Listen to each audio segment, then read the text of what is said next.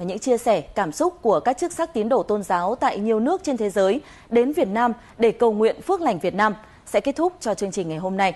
Cảm ơn quý vị khán giả đã dành thời gian theo dõi. Việt Nam nguồn phước là chủ đề của chương trình Bồi Linh và Cầu nguyện năm 2023 của Hội Thánh Phúc Âm Toàn vẹn với sự tham gia của 19 nước trên thế giới với hơn 500 tín đồ vừa được tổ chức tại Việt Nam.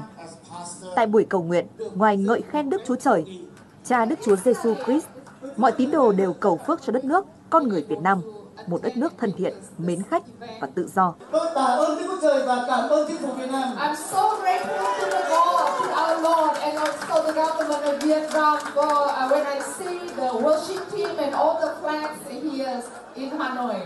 Việt Nam là nguồn phước ý là Việt Nam sẽ là một quốc gia được phước và là trở nên một cái nguồn phước cho cho những dân tộc xung quanh đó là cái uh, lời hứa của Chúa trong kinh thánh căn cứ vào cái đó thì ban tổ chức có nghĩa là muốn cầu nguyện ở tại Việt Nam để cái điều đó nó được ứng nghiệm Giáo lý tin lành đặt ra câu hỏi suy ngẫm là phước hạnh thuộc linh đến từ đâu?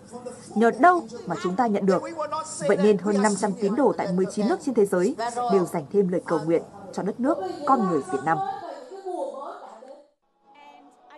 Tôi thấy con người Việt Nam rất tuyệt vời và tôi yêu Việt Nam một cách tuyệt đối. Đó là lý do chúng tôi lựa chọn ở đây. Chúng tôi và tôi cũng có kế hoạch phát triển sinh sống và kinh doanh lâu dài ở Việt Nam sau khi tới đây. Đối với bản thân tôi, khi đến bất cứ đâu, tôi đều tôn trọng niềm tin của họ, tình yêu, lòng nhân từ và sự khoan dung ở nơi đó. Và ở Việt Nam, tôi nghĩ tình yêu đó là sự tự do về tôn giáo. Chúng tôi rất hiểu và tuân theo chính phủ. Chúng tôi tin vào Chúa Trời. Chúng tôi đang sống ở thế giới mà Chúa tạo ra. Trên tất cả, khi tôi yêu Việt Nam và chúng tôi cảm thấy được tự do trong tôn giáo khi ở đây. Cá nhân tôi đã ở Việt Nam 18 tháng, tôi như được truyền cảm hứng, động viên khi tham gia vào những sự kiện như thế này, khi mà Chúa Giêsu được đề cập đến một cách vô cùng cởi mở. Những chương trình như thế này đã được tổ chức không chỉ ở thành phố Hồ Chí Minh mà còn có cả ở Hà Nội.